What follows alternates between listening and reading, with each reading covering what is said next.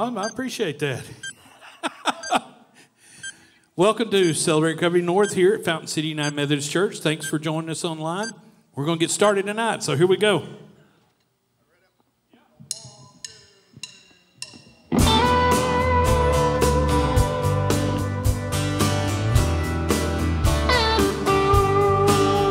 Well, I won't back down. No, I won't back down. You could stand me up at the gates of hell, but I won't back down. Gonna stand my ground. I won't be turned around. And I'll keep this world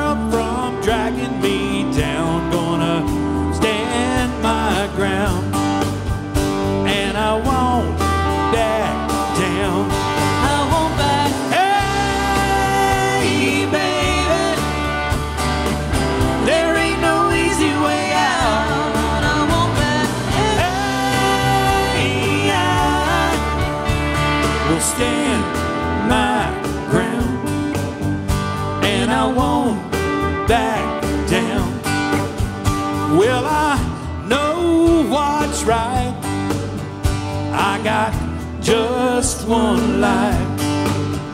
In a world that keeps on pushing me around, but I'll stand my ground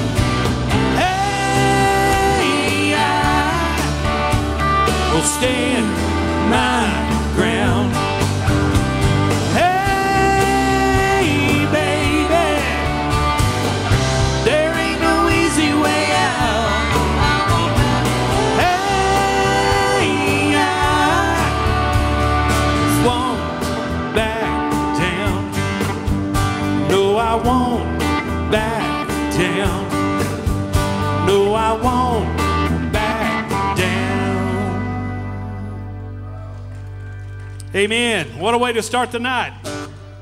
Come on, Tim. Hello, yes, they got me on. Hey, good evening, everybody. Welcome to Celebrate Recovery North. Uh, my name is Tim. I'm a grateful believer in Jesus Christ, and uh, I struggle with control issues, anger, and kind of how those things muddle up my life and my mind at times. But uh, I'm just so grateful that I have Jesus in my life and God in my life that gives me that direction and guidance. And, and also, I have this family. You know, I can come in here with my troubles, my worries, my stresses and uh, let them go. Leave them at the door, come in, and I always leave here better than when I came. So I'm just glad that everybody's here tonight. Um, if you're a newcomer, just welcome. We're so glad that you're here. Uh, know that you're an answered prayer. Know that there's a lot of people in this room that are constantly praying about the new person that's going to walk through our doors. Uh, and don't think for a minute that we don't understand how difficult it is to walk through that door. Everybody here came through for the first time at some point. Um, and it, it's a hard journey. It takes a lot of courage, so we admire you for that. We're glad you're here. Um, some of our announcements. So, with the things that I'm saying here, uh, anonymity and confidentiality are paramount here. It's real important, important that what we see here, what is said here, stays here. Uh, here, here. So, yes, just know that. It, you're fine taking some pictures of the band and the lovely Lauren here. She loves you to take pictures of her and post them everywhere. But uh, other than that, just no pictures of everybody out here. And then Mark, too. He's kind of. Uh, You know, he likes his picture too. Every once in a while. Uh, yeah, just just a few. You know, just Mark. Uh, so also we have a small group. So we really want to encourage everybody after our worship hour to go to small group. Uh, they're going to be down the hallway here. We have moved some of our rooms, so look at the signs outside the doors. Uh, we've done a little jostling around and moving things due to size and also some things we're doing with the rooms. You can look at all those up here and just kind of, they're kind of self explanatory. If you have any questions, you can grab me, Seth, or any of the other leaders afterwards, and we'll get you where you need to go. Um, we have coffee and things in the back, so just feel free to get up and have coffee or go to the restroom if you need to. Other announcements, um, let me think if there's anything else I want to announce. Sunday worship service, yes. So if you enjoy coming out on Tuesday nights, we also have our services on Sunday. We have a 945 contemporary service here in the gym. It's called The Journey. It's going to look a lot like the service does tonight. It's the same band.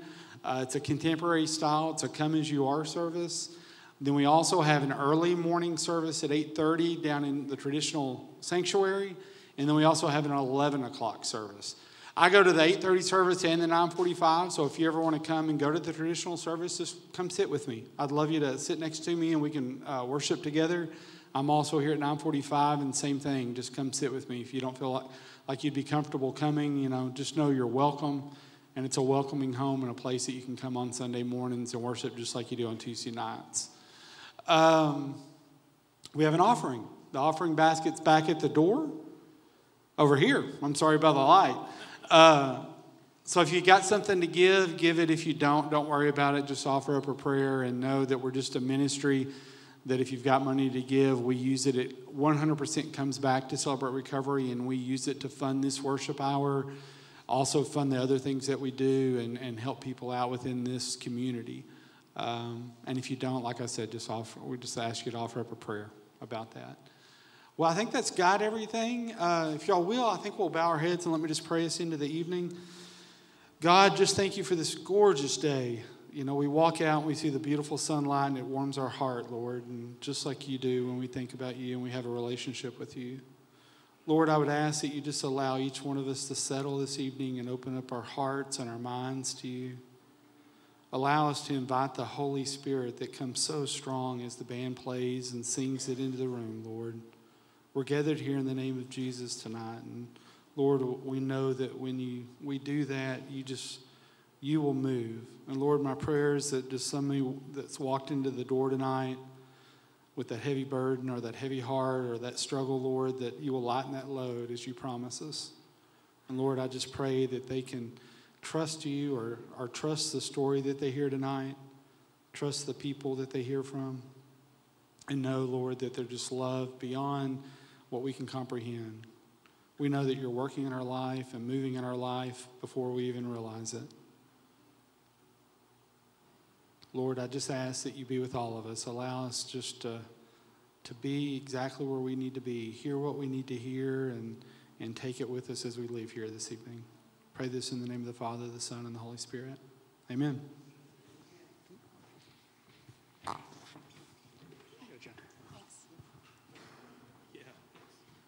Hey guys, um, I am a grateful child of God and I struggle with codependency, and my name is Jen.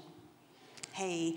Um, so I get the privilege and the honor of reading our 12 steps for you tonight, and if you will follow along with the biblical comparisons. Here we go. Step one. We admitted we were powerless over our addictions and compulsive behaviors, and that our lives had become unmanageable. I know that nothing good lives in me, that is, in my sinful nature, for I have the desire to do what is good, but I cannot carry it out. Romans 7 18.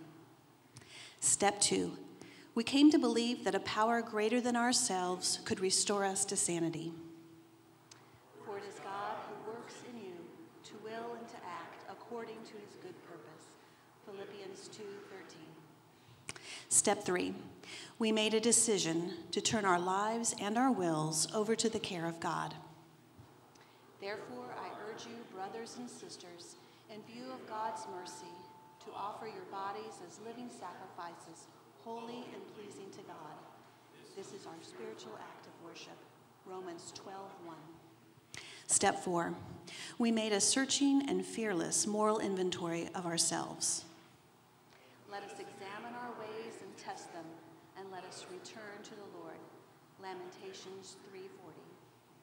Step five, we admitted to God, to ourselves, and to another human being the exact nature of our wrongs. Therefore, confess your sins to each other and pray for each other so that you may be healed. James 5:16. Step six, we were entirely ready to have God remove all of these defects of character. Humble yourselves before the Lord, and he will lift you up. James 4:10. Step seven, we humbly ask Him to remove all of our shortcomings.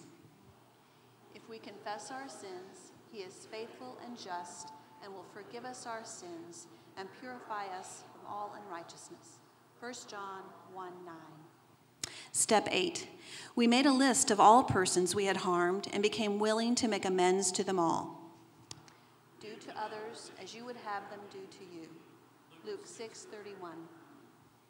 Step nine, we may direct amends to such people whenever possible, except when to do so would injure them or others. Therefore, if you are offering your gift at the altar and there remember that your brother or sister has something against you, leave your gift there in front of the altar. First go and be reconciled to your brother or sister, and then come offer your gift. Matthew 5 23 24. Step 10, we continued to take personal inventory and when we were wrong, promptly admitted it. So, if you think you are standing firm, be careful that you don't fall. 1 Corinthians 10 12. Step 11, we sought through prayer and meditation to improve our conscious contact with God, praying only for knowledge of His will for us and the power to carry that out. Let the word of Christ dwell in you. Colossians 3:16. And step 12, having had a spiritual experience as the result of these steps, we try to carry this message to others and to practice these principles in all our affairs. Brothers and sisters, if someone is caught in sin, you who are spiritual should restore that person gently, but watch yourself, or you may also be tempted. Galatians 6 1. Thanks, guys. Thanks, Jen. All right, let's stand up. We're going to sing a little bit.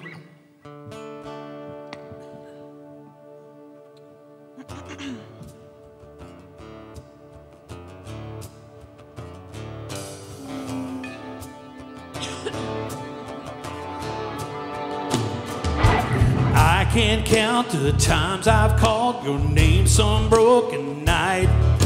And you showed up me up like you do every time. I get amnesia. I forget that you keep coming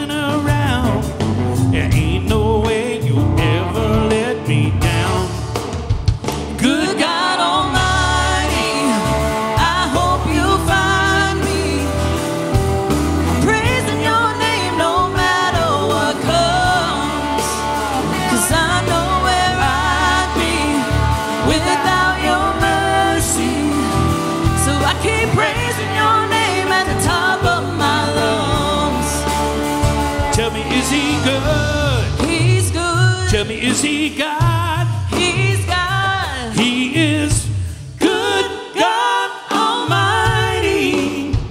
You say your love goes on forever, that your mercy never stops. So why would I assume you'd be somebody that you're not? Lord, in the morning,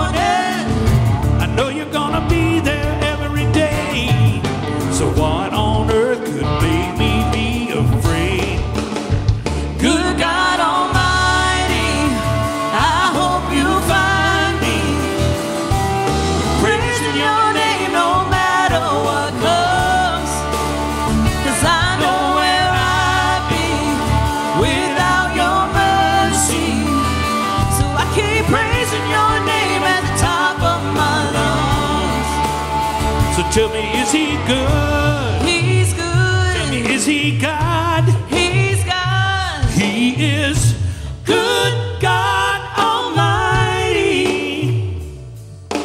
Praise him in the morning, praise him in the noontime, praise him when the sun goes down.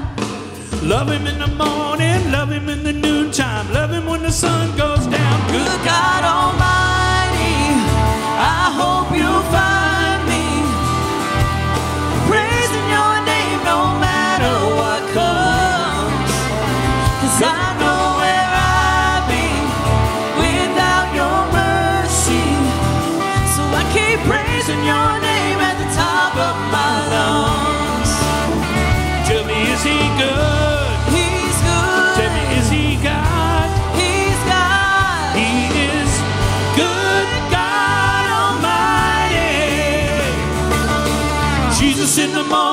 Jesus in the noontime, Jesus when the sun goes down.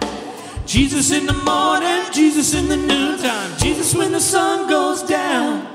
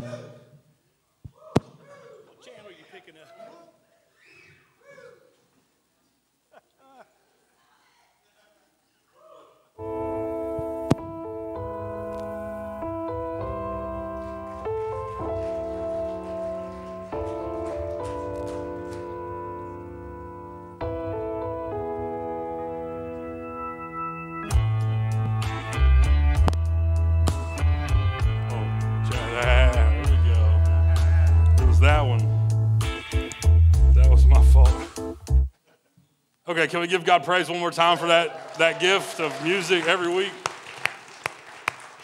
Every week, man. That's, that's beautiful. Um, we're blessed to have that every week. Thanks, Lauren. Um,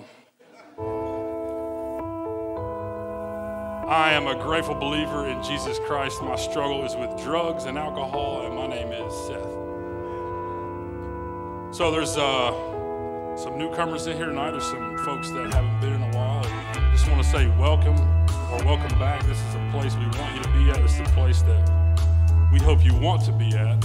Even if you're just here to get your paper signed, that's okay too, right? We've all had to go there one day. A um, c- couple quick announcements I want to make.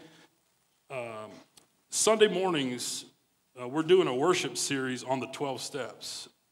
And this week, um, we're finishing up that series with steps 10, 11, and 12. So I would encourage you, if you don't have a church to go to or you don't have a service to attend this Sunday, show up here. It's a great place. You're welcome here. Um, we have uh, just, a, just a great time worshiping God, and um, you're welcome here. So show up for that. Another thing is we're trying to re, uh, restart our, our children's programs here on Tuesday night. So if you if you have a heart for children's ministry or you have a heart for um, serving in some way, that's an opportunity for you.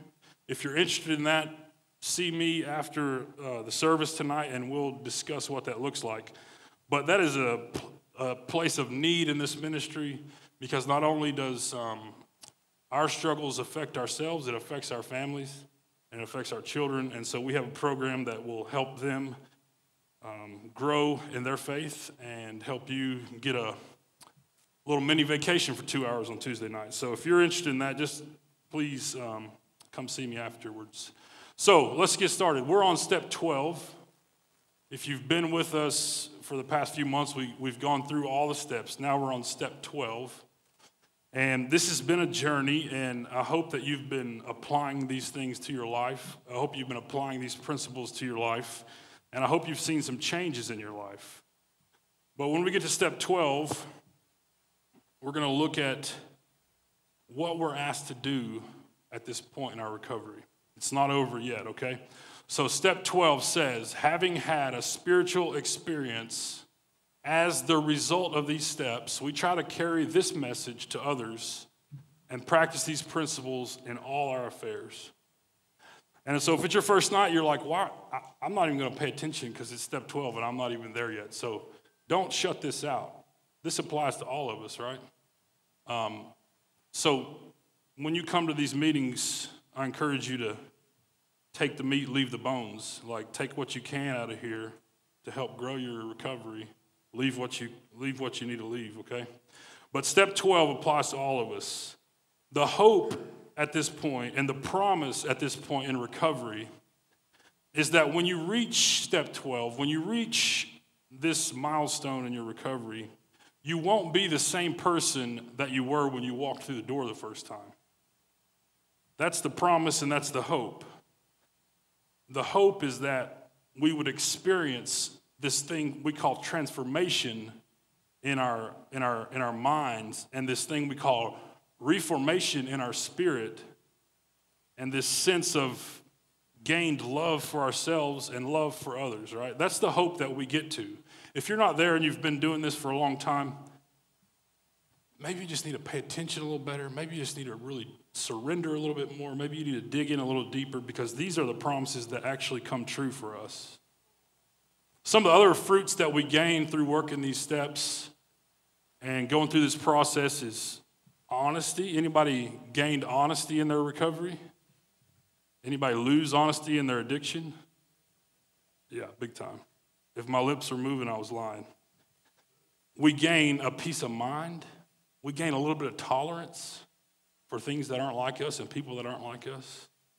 And we gain this thing called selflessness, not selfishness, selflessness.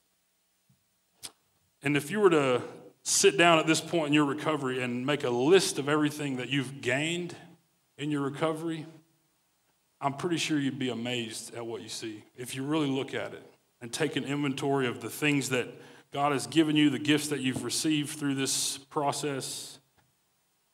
I'm, I'm pretty sure you'd be blessed. Now, here's a, here's a note I want to tell you if you're new or if you're kind of, you know, you haven't really gone deep into this thing. One mistake I made when I first started was I compared where I was to where everybody else was. And what happened was is I was comparing chapter 3 in my story to chapter 30 in other people's stories. And what do you think that looked like? It was impossible for me to reach those places with the time and the experience I had in recovery. So if you're walking in here and you're thinking, man, I want to be just like that, if I'm not like that tomorrow, I'm giving up. Clear your mind of that. This is a process, okay? It takes time. It's important to understand that this journey through the 12 steps takes time. It's important for the newcomer and for all of us to look at the steps that we've already gone through to see just where we're at now. If you're not if you're not there, just look at where this pathway will take you. I'm going to kind of do a review tonight. We're going to review some of the steps and we're going to review some of the principles. And as I do this, I'm going to purposely point out the beatitude or the scripture that goes with each principle in these uh, 12 steps. So there's eight principles that go with the 12 steps. I'm going to purposely point out the scripture that goes with it, and you'll see why. So when we go to principle one, which is the first place we start in Celebrate Recovery, principle one says, or the, the scripture says, Happy are those who know they are spiritually poor. And that's Matthew chapter 5, verse 3. And that's Jesus' Sermon on the Mount. And he's, he's teaching people and his disciples the way to live. And I just want you to know why it starts out here. We'll get to that in a minute, but happy are those who know they are spiritually poor. And so this is where we come to step one. And step one, what it does is it shows us this, it shows us this amazing reality that we've been fighting to face in our lives. This amazing reality that we've avoided because what happens in step one is we find that we're totally unable to get rid of our addictions and our compulsive behaviors until we admit that we're powerless over them. And I don't just mean say it, I mean surrender it and admit that I am powerless, so there's no way that I can beat this. And that's where step one starts. It takes some people many years to get to that point. It, it takes people decades to get to that point. And it's so crucial that we do get to that point. Just let me tell you one thing about step one. Step one is the only step that you have to actually get right. All the other ones you're not going to get right. Just forewarning for those perfectionists in the house tonight. You're not going to get those right. This one you have to get right. You have to admit that you're powerless over whatever you're facing and that your life is unmanageable and, and mean it, okay? So then we move into principle two. And the verse for principle two is Matthew 5 4. And Jesus says, Happy are those who mourn, for they shall be comforted. And that word mourn means a couple different things, but what I think it's referencing here is that we mourn over our past life not that somebody has died and we mourn, but that we have died. Our sinful life has died. Our addiction has died. And, and we mourn the way we behave there. And so Jesus is saying, when you mourn over how you used to live, you shall be comforted. And so when we get to step two, we're coming out of this situation that we can't control. And then at step two, we start to believe that, man, if I can't do this alone, there's got to be a power greater than me. And so that's where we enter the word higher power. If I can't do this, there's got to be something greater than me. And so when we get to that point, we grow a little bit of faith and we enter into principle three. And principle three, the verse says, Happy are the meek. Matthew 5 5. Look up meek and study that sometime. But meek is not what you think. Meek is not like weak and cowardly. Meek is actually a power word. You actually gain power when you get to that point of being meek because you gain a power that you've not had before. And so, step three is where we turn our lives and our wills over to the care of God. So important. That is a pivot point for our recovery.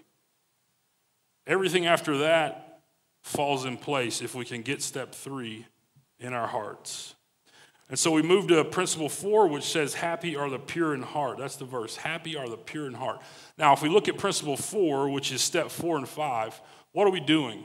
Okay, we're taking an inventory of the things that brought us to a place of physical, spiritual, and moral bankruptcy. Now, all those things that we've done in our past that have caused us to come to this place have actually, if you think about your heart as being clean, they've actually made our heart dirty. And so, happy are the pure in heart.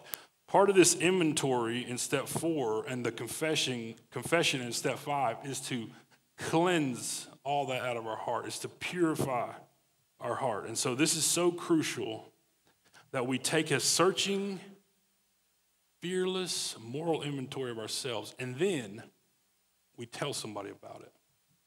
We tell somebody about it. And that's so important that we bring this out and tell somebody about it. We finally come to a point where we, we face the fact that living alone with our pains and our conflicts and our struggles and our hurts is not working and it's not going to work. So we have to bring somebody else into the situation. That's what step five is. Step five. So now we move into principle five. I'm going somewhere with this, so hang on with me. Principle five. Happy are those whose greatest desire is to do what God requires. So we start talking about our character here. We start talking about the way we live, our actions, our behaviors. And so we move into step six, and what happens in step six is we face ourselves. We look at ourselves, and the reality is we have character defects. The second reality is there's some character defects we hate and we're ready to get rid of, that we're ready for God to take. But if you're really honest with yourself, there's some character defects that we actually love, and we've actually grown um, to really use to our advantage or use to survive. And we actually love those character defects. But we have to get ready to let God change us. And that's where step seven comes in. And step seven says we humbly ask God to remove our shortcomings, even the ones that we love, even the ones that give us an advantage, even the ones that nobody else knows about. We ask God to remove it and create the character He wants us to have. And that takes humility. And that takes um, surrender. And that takes acting like you don't know anything. And so then we move into principle six. Principle six, the verse says, Happy are the merciful, and happy are the peacemakers. What we do in step, in step eight and nine is we, we start working on our horizontal relationships. We start working on those people that we've um, affected in our, in our addictions and in our, in our behaviors. We call it cleaning house sometimes. Have you ever heard that term? We keep cleaning house in step eight and nine. And what we come to realize is that we've not only hurt ourselves, we've hurt a lot of people around us. Because I don't know about you, but in my addiction and in my struggles, I wasn't the only one who suffered. There was a lot of people around me that, that, that suffered because of what I did. And so, in this process, in step eight, we begin this peacemaking process, this, this process of forgiving others and asking for forgiveness. And so we list the people we've harmed and we become willing. That's the key. We got to become willing to make amends to these people. And so then we move right into step nine where we make direct amends. And this is not an excuse place. This is a place where, we, if we can, we make direct amends to those people um, for the harm that we've done and we, we clean up our side of the street. Okay? So then we move into principles seven and eight. These are the last two principles. And the verses are Happy are those who are persecuted because they do what God requires. You notice how many times it says, Do what God requires? It's pretty important. So we got to look back at step three there. But happy are those who persecute because they do what God requires. And by this time, we hit step 10, and we figured out that this thing isn't going to work unless we just keep doing things every day, right? So, so in step 10, we have to make a daily inventory. We, we take a personal inventory of our character, our behaviors, our actions, our thoughts. And if we're wrong, we promptly admit it. And that, that's so important that we keep doing that, right? And then we move into step 11, where at this point in step 11, we've had some kind of relationship with God. And it might just be a Snapchat relationship at this point, a Snapchat relationship where we just let God see what we want Him to see. But step 11, we realize that God has restored our sanity and that He's given us some peace of mind and that he's he's given us some happiness and that we're actually feeling this thing called self-worth. And so in step 11 we are asked to continue growing in that relationship with god and continue growing in that relationship in our recovery. Whew, that was my introduction. So that was steps 1 through 11 if you've just showed up this is your first time that's a pretty good recap of the first 11 steps that was not meant to like thrill you and make you jump up and down and amen, all that. That was just an inform- informative piece. But you got to know where we came from to know where we're at. That's why it's important. It's hard for somebody to walk in and hear a step 12 talk if they have no clue of the first 11 steps. You don't know where you came, but the, but the journey is important. All those things that we talked about are important because it leads us to this place. And I wanted you to pay attention to those scriptures because it leads us to this place. Step 12, let's look at the first part of it. Having had a spiritual experience as the result of these steps. So it's saying, basically, what I see is you're going to have a spiritual experience because of the steps. Anybody agree with me on that? Okay. If you follow this path that we just laid out, that I just laid out for in, in, in this informative section, then that journey alone is a spiritual experience. Amen?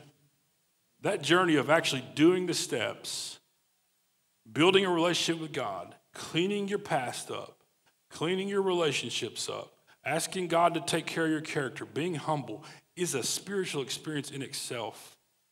When I read that the first time, I thought lightning had to strike me and I had to see Jesus in my Froot Loops, and all these things had to be in place for me to experience a spiritual experience. But what I, what I was blind to is I'd already experienced a hundred spiritual experiences because of these steps. So, so you've experienced them as you work this path, okay? And what step 12 tells us, so that's what happened having had a spiritual experience as the result of this step, step 12 tells us that we should respond to the spiritual experience. Make sense? Okay, thank you. I thought you were asleep for a minute. So, what do we do? We try to carry this message to others and practice these principles in all our affairs. It is a response to the spiritual experience in the first 11 steps.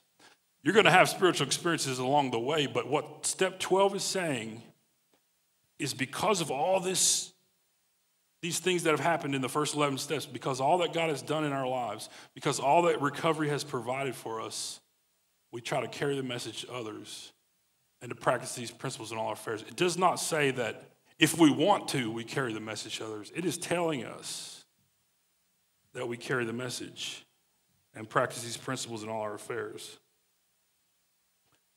And so, if we uh, look at those scriptures in the first eight principles of Jesus' Sermon on the Mount, the, the Beatitudes, you've heard them called, if we look at what he's teaching in that, in that section, he's teaching something that is radically different from the way people were living in that day. If you think about the people that were living and he was teaching, they were religious people. All they knew was religion. All they knew was the tradition and the religion. And they thought, well, I want to go to heaven. This is their, their thinking, right? I want to go to heaven. These are the way I need to go. These are the things I need to do. This is the way I need to be. And Jesus drops this grenade on them, this radically different way that he's teaching them. And he says, This is the way you need to live, not the way you have been living. So you imagine this crowd of people sitting there, and all they know is this tradition and this religion, and this is do this, don't do this, do this, don't do this. And then Jesus throws a grenade at them, and it touches every nerve in their body because every single one of them, at that point, when, when they hear this, had to realize that they too are spiritually poor. And that's the first verse he starts out with in this sermon.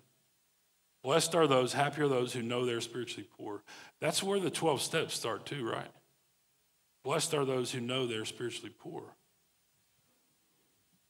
So Jesus drops this grenade that shows them this is the different way to live. He turns their life upside down.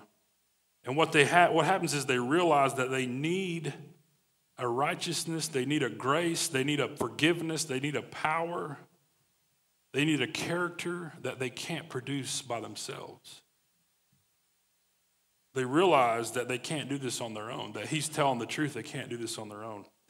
And, and, and if you go a little further in Matthew chapter 5, verse 20, Jesus actually says, unless your, righteous, unless your righteousness or goodness, however you want to look at it, exceeds that of the scribes and the Pharisees, you shall not enter the kingdom of heaven. And that point smacks them and says, no, we can't beat that. We can't do better than that. And so you enter a place of spiritually spiritual poverty. Basically, he's saying you're not getting in on your own. You're not, you're not going to live the life I'm telling you to on your own. The only way you're going to get there, the only way you're going to live this way is if you know the man on the middle cross. Amen.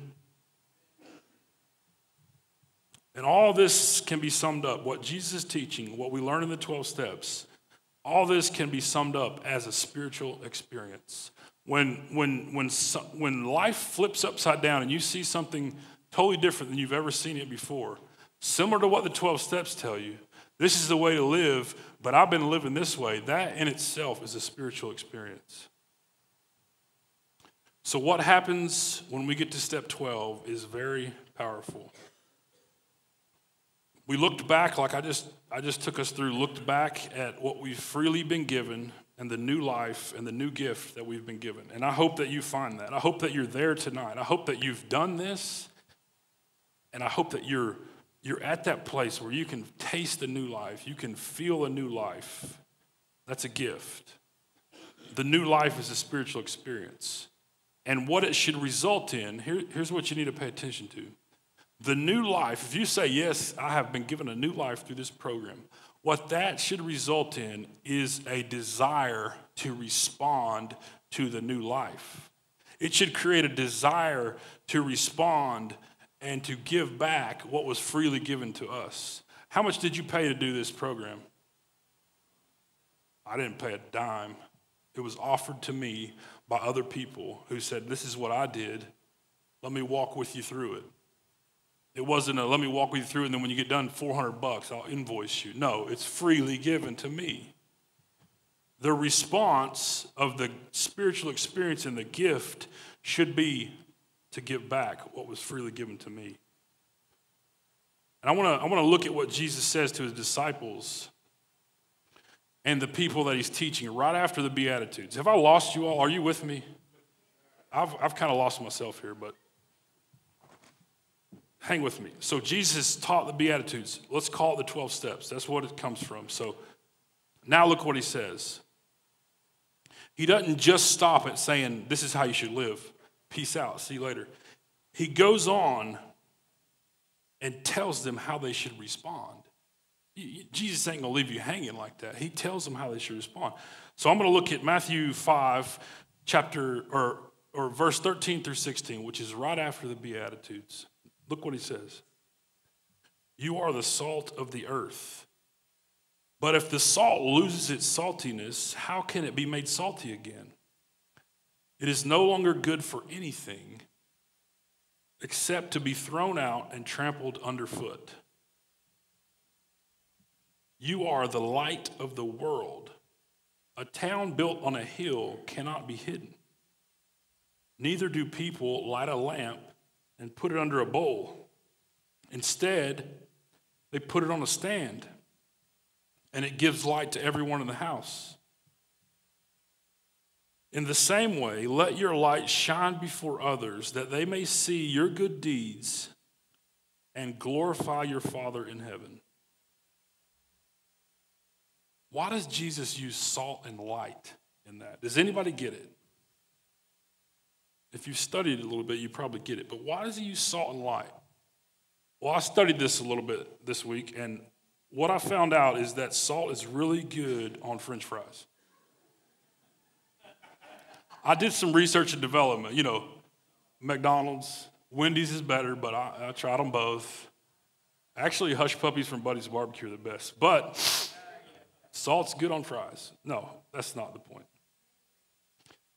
Salt serves many purposes, okay? Jesus chooses salt and light for a reason. Jesus doesn't do anything by accident, he doesn't make mistakes like me. He chooses salt for, for a purpose, but salt itself serves many purposes, and that is the point in why Jesus, I think, uses this example. If salt is not salty, it no longer has a purpose, right? It's useless. What are you going to do with unsalty salt? Well, it's purposeless. It's, it's, that's why he says it's just thrown out. They used to line the roads with useless salt because it's nothing but to walk on it. Salt, though, in those days and still today, is used um, as a preservative. Right? So, so, in one sense, being salt of the earth is a way to preserve your faith and your recovery. And, and, and being salt as a preservative can help us from falling back into our old ways. Stay salty, right? What else about salt? Salt permanently changes the flavor of food.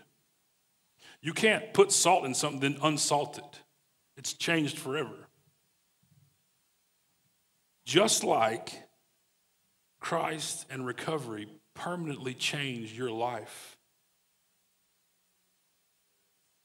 You do something with it, it's changed either way.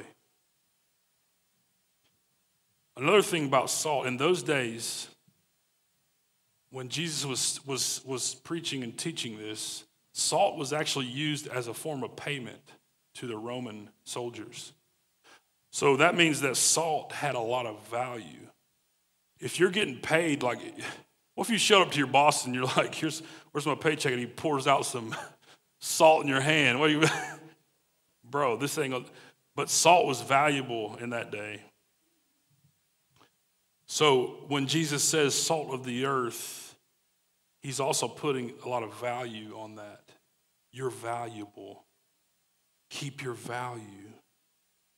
Jesus is referring to having value when he says, You are salt of the earth. You are value. One of the other purposes that you might be familiar with about salt is that salt can heal a wound. Did you know that? You want to try it? No, because it hurts. But salt has healing properties, it can heal a wound, it can prevent bacteria from creating an infection. So if we're salty, if we stay salty, and somebody wounds us out there in that world, it can't turn into an infection. It's a bacteria fighter. By being salt of the earth, we are fighting spiritual bacteria. It can't infect us.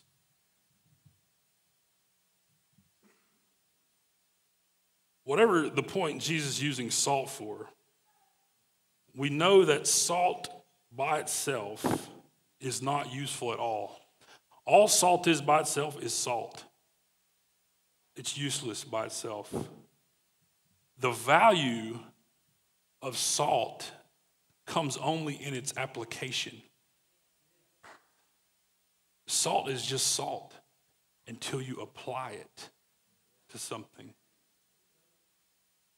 So, salt is not valuable by itself, but what you do with it gives it its value. Somebody come with me on this journey. Whew. The same goes for your recovery.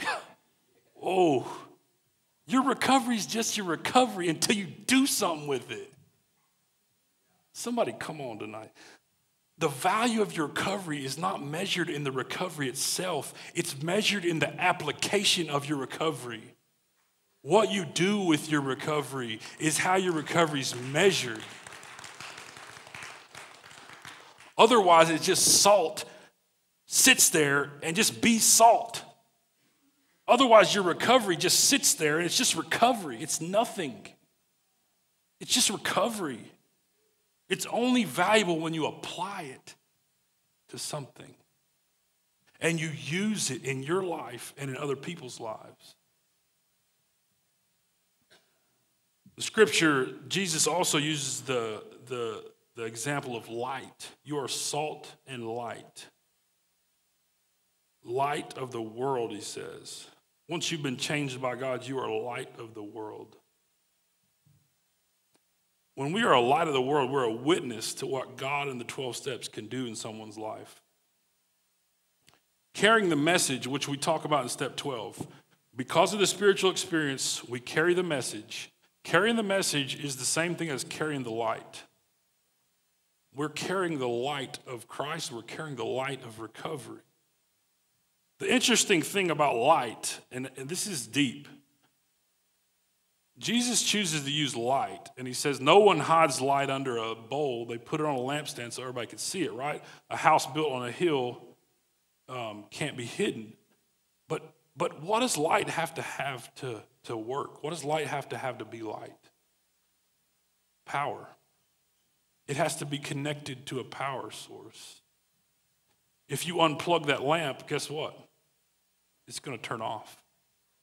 If the fuel in the, the, the oil lamp runs out, the light runs out. A light that does not have the power of God is useless. A light that has no source of power is useless. It must stay connected to the power. We must stay connected to the power of God so that we have a continual source of power so that our light may always be on. Don't let your light turn off. If you get far enough away from God, you lose the power that God so freely has given us through this journey. One way to, man, I'm just coming up with them all tonight. One way to keep power going is through a circuit if I tie into your circuit, we can both be lit by the same power.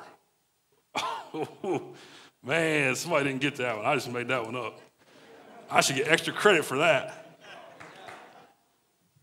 If I tie into you, you can use my light until you can find your own power source. Come on with it. If you ain't got any power and you ask me to borrow some of my power and I plug into you, you're using the same power that I got to light your light. Mm. In step 12, we become the light, a beacon of light in recovery for those people who are lost and they can't find their way. We become salt for someone who has lost their flavor and their joy.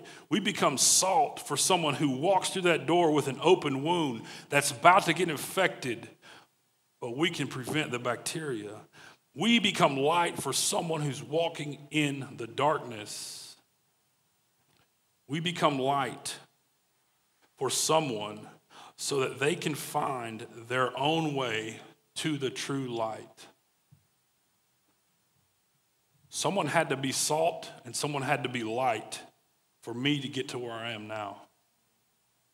I had wounds, I had no power, I was infected. I needed a lot, and somebody had to provide me with their salt and their light to get me to where I'm at today.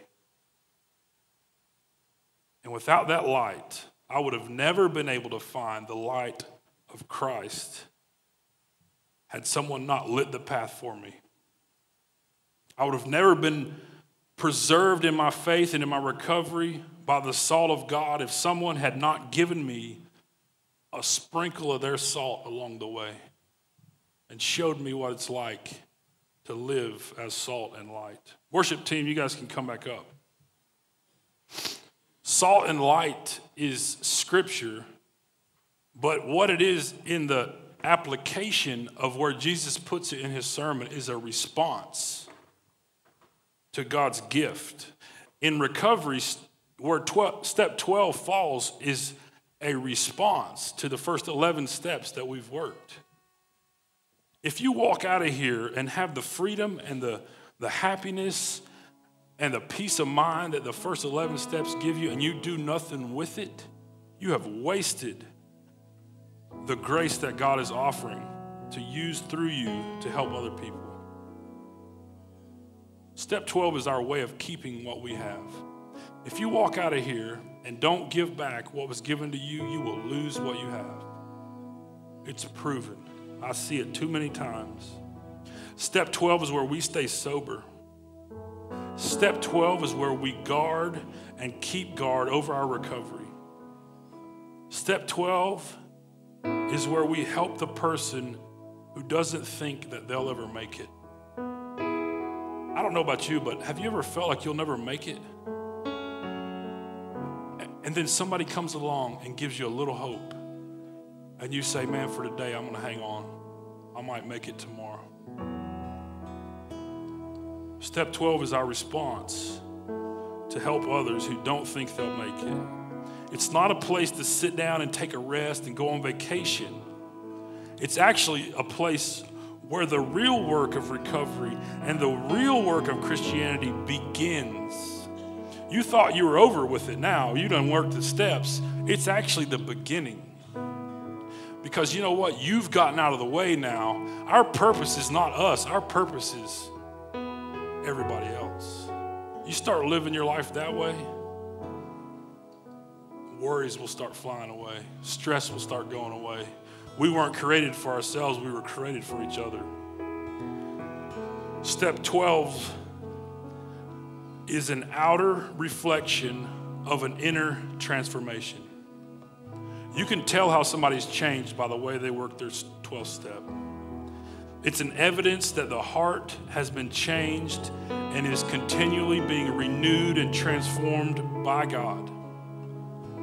The 12th step serves as evidence of a new life. It's evidence that the old life has gone away. The hard fact that we all have to face is that if someone cannot freely give what he or she has freely received, then what they have received is not truly part of them or it's gone away from them. It is a, it is a response and it is a, a duty to give back what we have been given all the way through the rest of our lives. Step 12 is asking all of us do we want to keep what we have? Do you want to keep what we have? It's asking us what is our purpose in someone else's journey? What is our purpose? Will we have a purpose in someone else's life? If you're not there yet and you're just like, man, I don't know what he's talking about, I just know the coffee's free and I can get my sheet signed. That's okay. But we have a blue chip here. And this is a, a, a sign to yourself and to everyone in this room that you are tired of living the way you've been living It doesn't matter what you struggle with. You could pick one of these up for depression, overeating, anxiety, drug addiction, alcohol addiction, pornography addiction, anger, hurt, trauma, pain, self worth, self hate, whatever it is. There's no limit to what this means to you, but it's an open invitation to come as you are and start a new way of life or restart the way you've been living. I ask you to come as you are. Is anybody willing tonight?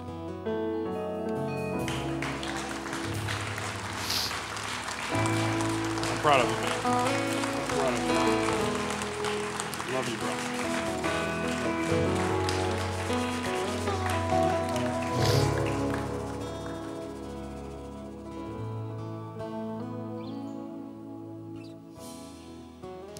Maybe you're a 12 stepper and you hadn't done anything.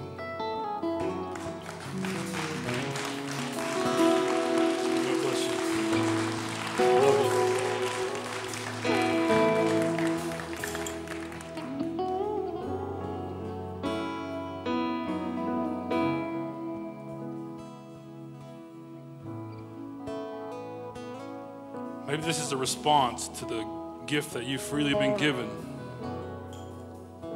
and you're ready to give back to somebody else.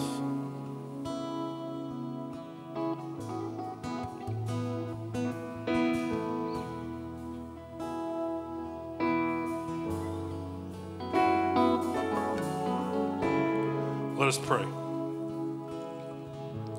Heavenly Father, we thank you so much for the gifts give us through these 12 steps, through this program, for this fellowship. God, I pray that no matter where we're at in our journey, that we may respond to your grace and respond to your mercy and respond to your power by being salt of the earth and light of the world. You called us all to be that. You've given us all that we need.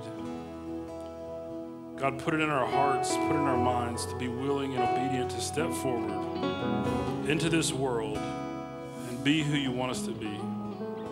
I pray that if there's any hurt in here tonight or darkness in here tonight, that it may stay here. It may not leave this room or leave this building, that, that freedom may walk out of these doors tonight. A new freedom, a new peace, a new happiness, God. Less weight and more joy. Through your power and your Son, Jesus Christ, we pray. Amen.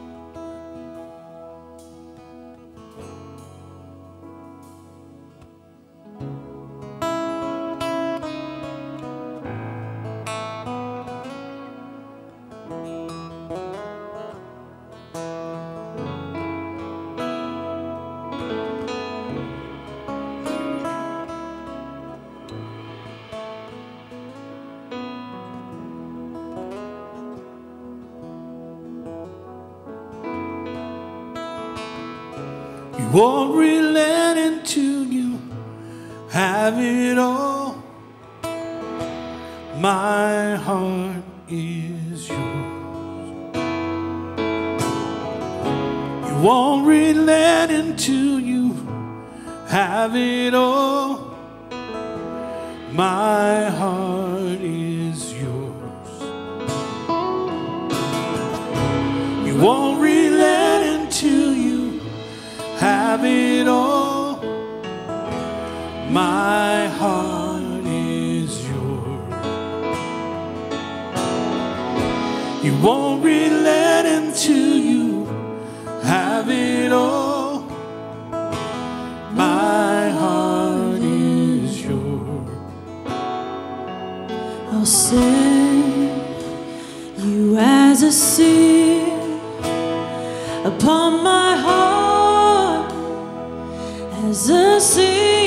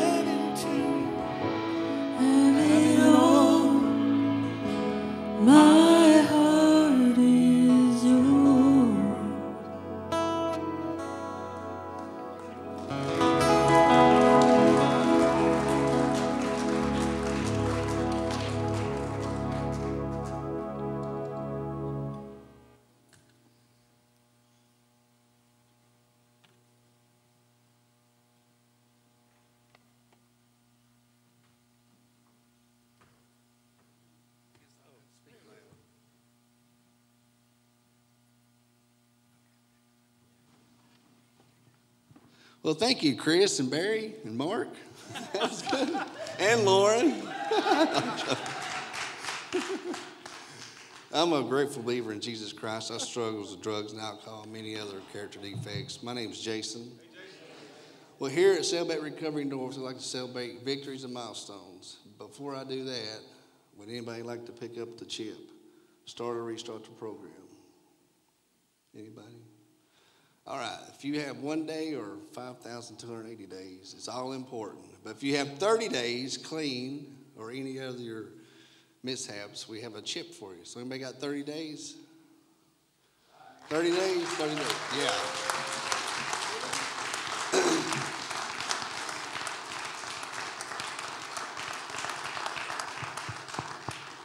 Does anybody have 60 days? 60? How about 90? 90? How about six months? Hey, all right.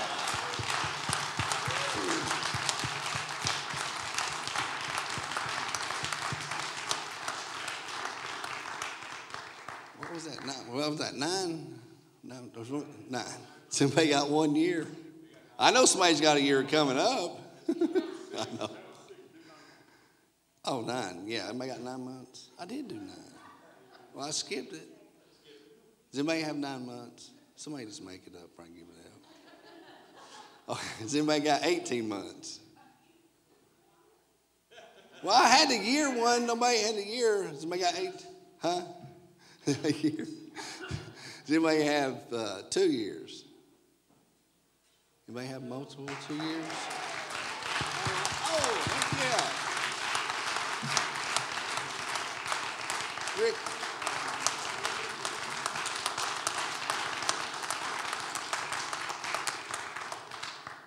Does anybody have multiple or anything? Three. Yeah, of course.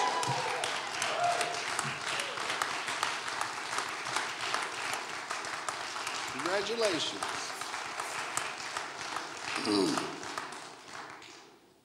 All right. Would anybody like to take the blue chip, start or restart the program? All right. Here you go.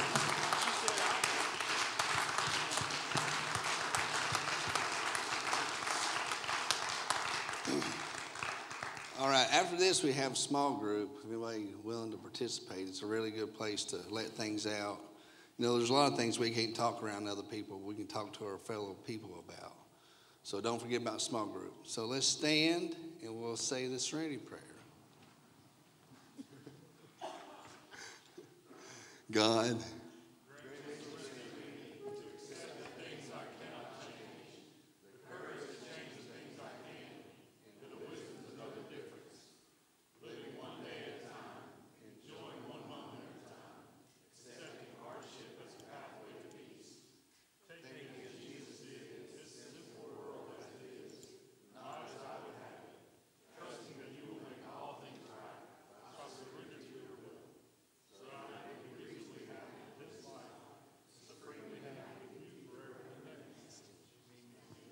thank you all.